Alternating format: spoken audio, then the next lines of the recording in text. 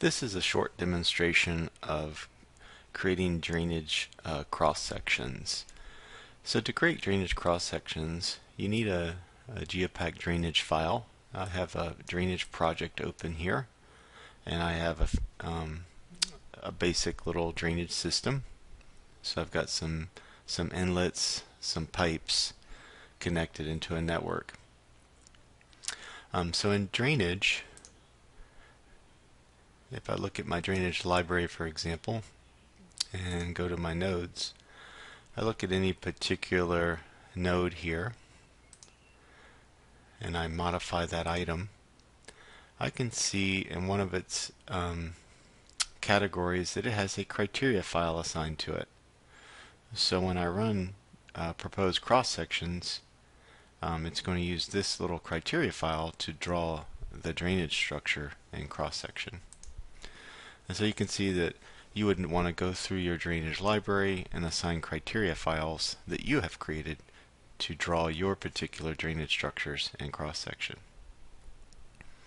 Um, beyond that, you would also want to make sure that in your project preferences, under link options, you've given us a link criteria file.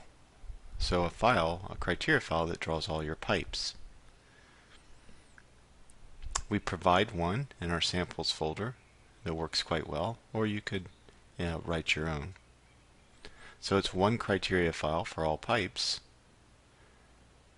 in this case, and then individual criteria files for each particular node. So those are the things that you would want to set up in drainage. Now in the proposed cross sections, and I'm here I'm in a road project. I'm going to go to my proposed cross sections. So in cross sections there is a drainage option under the criteria or the proposed cross section run. And so you toggle on draw drainage components.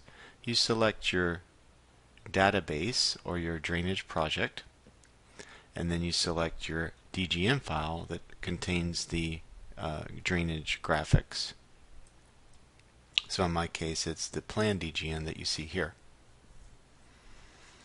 So once you have those two things defined, and you've gone out and you've defined your uh, criteria for your nodes, then it's just a matter of coming in to your cross-section file and creating your run and go ahead and running it. So I'm going to go ahead and run this. And I'm just going to do the drainage. So that's I, I pretty much don't have any um, DGN or any pavement stuff set up at this point. So I've got my cross sections. I've, I had the four pattern lines in my plan view that I'm going to draw cross sections along. And just real quick, you can see if I jump back into the plan view, you can see that I've drawn one particular pattern line along the pipe, cross pipe, cross drains. The rest are not quite on the pipe, so they're just crossing the road at different places. Alright, so we'll go back into the cross section DGN. And now I also will say that in my cell library my criteria file looks for a cell called pipe, so that file, that cell library is in my cell list or it's attached here. So you'll see when it, so I'll go ahead and run.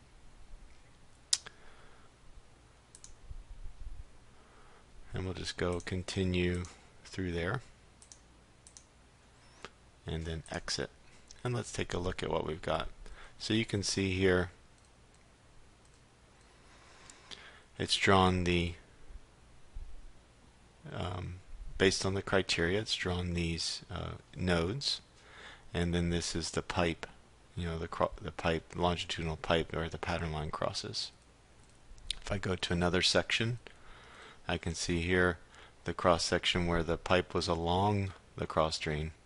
It's got the uh, pipe drawn, and then it labels it as well.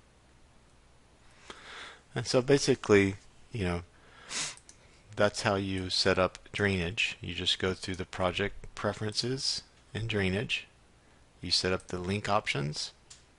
You go through your library and for your individual nodes you set up and assign a criteria and then pull it together within your proposed cross-section run by pointing to the project file and the micro or the microstation file with your drainage data.